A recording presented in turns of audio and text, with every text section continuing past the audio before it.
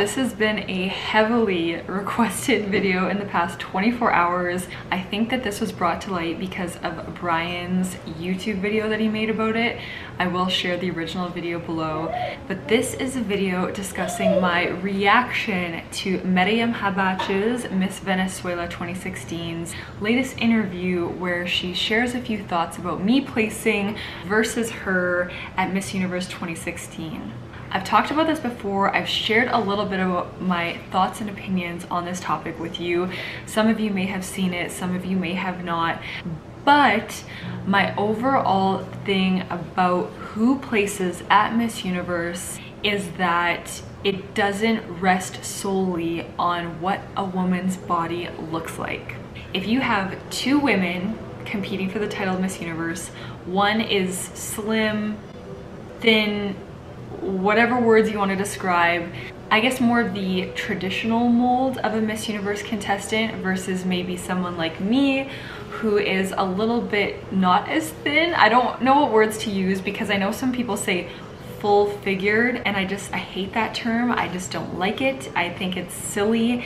And as many of you know like I'm a size 6 size 8 I am not plus size. I am not full figured whatever that even means. But I am just not the typical figure that you see at Miss Universe. And as you maybe heard in this interview, if you saw it, that some of these women, like Mariam, to have the body she had, she killed herself in the gym for six hours a day and ate greens and fish. And that's all she ate. And I've been there. If you watch my journey at Miss Supranational I was a lot skinnier and I was I was not myself I was not myself trying to be that. And some people will say, well, that's what it takes. It takes discipline. But to me, Miss Universe is about representing women of the world and being confidently beautiful. That's what Miss Universe stands for. That's what Miss Universe is about. It's about being confidently beautiful within yourself.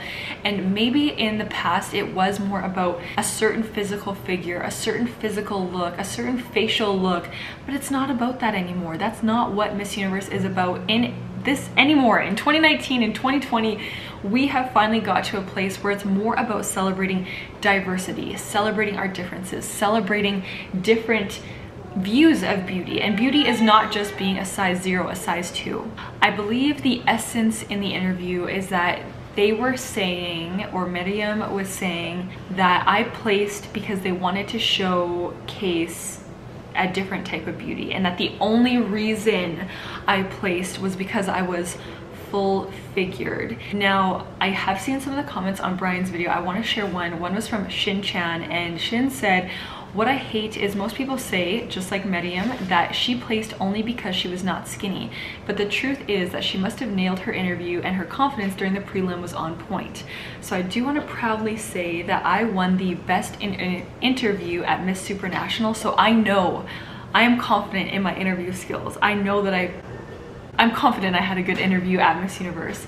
Someone else said, this just reflects, this was, sorry, Shinjan Bada said, this just reflects why Mariam didn't place. While Siera has uplifted and inspired millions across the world, thank you, to embrace themselves and has always, always uplifted others while Mariam is busy demeaning others. Someone else said Siera deserves it not just because she's full, not because of figures at all. She's an empowered woman that can inspire others. Someone else said this was Cadorna. In fairness to Siera, she placed high in other pageants even when she was skinny. So skinny or not, she definitely deserved her placement. Someone else said this is Carlito Cadente said it is not just about your body and looks on the outside. MUO judging is also about personality and attitude. Who knows? Canada nailed the interview and which is why she got the high placement part of the competition welcome Lily. So that is something that I do want to say. Okay, this person, Laughing Buddha, said Siera's proven herself long since to be one of the most inspiring women to compete in beauty pageants. Thank you, that's so nice. She's truly an exception to the previous rules of the game. Thank you so much. That Stuff like that means so much to me and I do want to say that we did not see women who were not slim, maybe fuller figures, whatever you want to say, women with my body shape. We did not see women like me placing at Miss Universe but I do believe that I I deserve that placement beyond my body because I believe that Miss Universe as an organization has come to realize that beauty is beyond size. Beauty is in so much more than what we look like and that is the direction we're seeing with the Miss Universe organization and if someone like Mariam doesn't agree with that then they shouldn't compete at Miss Universe or try to compete at Miss Universe so win Miss Venezuela to go to Miss Universe because if you are going to compete in something you should believe in it. And I know what Demi-Leigh Miss Universe 2017 one of her favorite quotes is if you believe in something believe in it all the way. So if you believe in diversity of beauty if you believe in the Miss Universe slogan of confidently beautiful then you should believe in it all the way. Oh pull it out.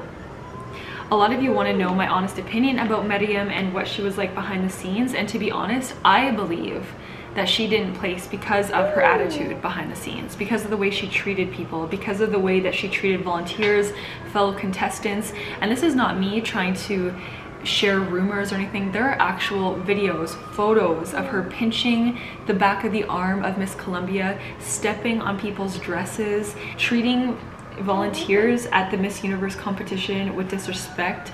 I know there was a situation where she wasn't gonna wear one of the designer's gowns, one of the Filipino designer gowns, because she she didn't like it or I forget. It was a very dramatic, very dramatic situation. She tried to switch the dress, I think, with a fellow contestant. They didn't get to wear it. It was a whole schmozzle. I don't want to give the incorrect details, but I will tell you it was very dramatic. There were girls crying. It was a lot and um, yeah I'm not going to go on and on because I do not want this video to be about bashing her I want it to be about sharing that Miss Universe what? Miss Universe and other pageants I believe are starting to realize that they need to use their platform to celebrate women and not show that show that there's only one mold for women to fit to be successful at their competition. Because we're seeing i believe more and more people around the world who feel like you know what? I can potentially that if people see more diversity they are going to be uplifted and feel more confident in themselves because they see themselves represented. And some people might then say you know i believe that miss universe is only about having a certain face look, a certain hair type, a certain skin type, a certain body type, and I guess that's their opinion. I believe, and I know a lot of you believe, that Miss Universe is about showcasing diversity and the beauty of women around the world and showcasing different types of beauty. We might all not have the same opinion about what we think is beautiful and that's fine. It's just, I really believe and feel like Miss Universe should be a representation of women of the world. And if that means if being beautiful means going to the gym or as the interviewer said killing yourself in the gym for six hours a day eating fish and greens like if that's what being beautiful means to you then i guess that's what it means. And maybe that shows a very hard work ethic for some people but to me that is not what being beautiful and being confident means like i said i've been there and i have never felt more self-conscious and felt the least confident I've ever felt in my life is when I was being super strict with what I was eating, working out excessively, and I was more slim, slender, thin.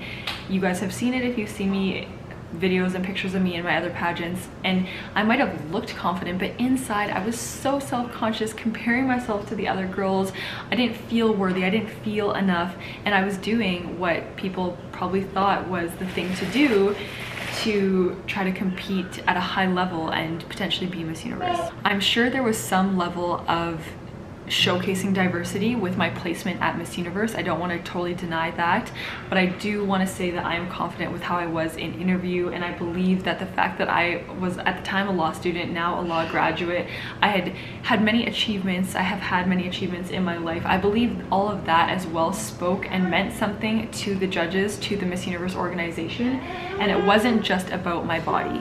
I want to end this video on a positive note and say thank you all so much for your endless support. I've seen so many of your comments on Brian's video and it just makes my heart so happy knowing that so many of you are so supportive and kind and that you see all of this as something beyond being a physical beauty if that makes sense. I don't know how to put it into better words, but a lot of you seem to see and recognize, just like me, that beauty is beyond what we look like. Maybe that was something more traditional in the Miss Universe world, but times are changing, times have changed. And so to see that all of you recognize that and that you believe in me and that you believe that I placed for more reasons beyond IMG MUO making a statement.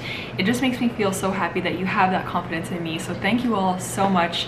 I cannot say thank you enough for your support, your kindness, your comments. It means so much to me. So I thank you so much and I will see you guys in the next video.